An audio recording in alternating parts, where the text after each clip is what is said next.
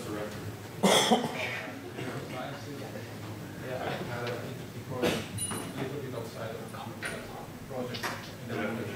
Um, I'll be presenting a unilateral neglect rehabilitation system today. Uh, these are my group members, Aaliyah, Eric, and Namola.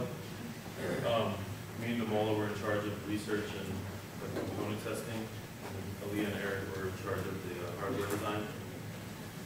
Uh, Our goals for this semester were to contribute in the unilateral neglect uh, research and also make a preclinical design of a cage that is self-automated.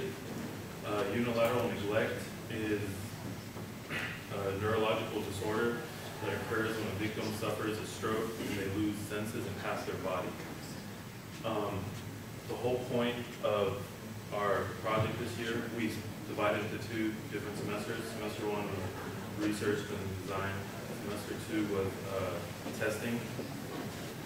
Um, the Whole point was to rehabilitate, we were using live rats, we were working in the Ensro building Professor. Um, we uh, we wanted to rehabilitate the rats using five senses. We're using, we're doing audio, visual, uh, body stimulation, whisker stimulation, and balance stimulation. The whole point is to strengthen the, uh, the nerves in the brain. The whole thing with unilateral neglect is they're able to tell that it's there, but they, the brain does not transmit it, they don't comprehend it. So the whole point with us is with these stimulations, we're using the vagus nerve in the brain, we're stimulating that at the same time. And we're able to uh, strengthen these nerve connections and have the brain be able to transmit them. The, um, the engineering part was designing the cage. We used SolidWorks to design the cage. We have the cage built, it's outside, we can show everybody during the poster presentation. Um, we had to order different components such as stepper motors, uh, LEDs, speakers. Um, the stepper motors were used for like the balance and the, uh, the body stimulation. Um, LEDs for lights, speakers, for whatnot. Um, we had a couple limitations since when we, we test the rat, we find out which side is neglected. And uh, a limitation with speakers was we didn't want the other side of the rat to hear what's going on. And there's no point in the stimulation for the vagus nerve. So we have a background, like white noise or any kind of just background noise to, to mask it. Um, we built the, we built the cage this semester. Next semester, we're gonna start, uh, testing and we have, we're designing the PCB we're finishing it hopefully in a couple weeks, and we're able to program next semester and get everything self, self-running. We don't have to, we don't want any interference, we've been able to put the rat in the cage, and just let it do its thing and pick different tests. Um, do you have any questions? Do you have to attach probes or something to the rat to Yes, um, at the front of the cage, there's a nose poke, and it, like, we'll- we train it to put its nose in, and when it does that, that's when we run the stimulation. And then the, uh, we're working with Professor Rennaker, and the rats they're giving us, they have like sense, they do surgery and they have senses, sensory like chips in their brains, and they're able to sense if the brain activity is, is happening. So they actually cause unilateral neglect? in the Yes, rat? they are inducing Right. unilateral neglect into the, to the, to the rat.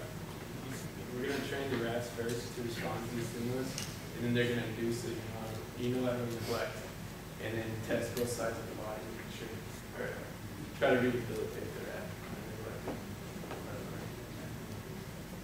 Have you made any uh, positive results of this yet? Uh, we've actually built, well, we haven't actually tested the rat yet, we haven't gotten, we haven't gotten the PCB in yet, we haven't, uh, coded anything, so that should be next week. One. Yeah.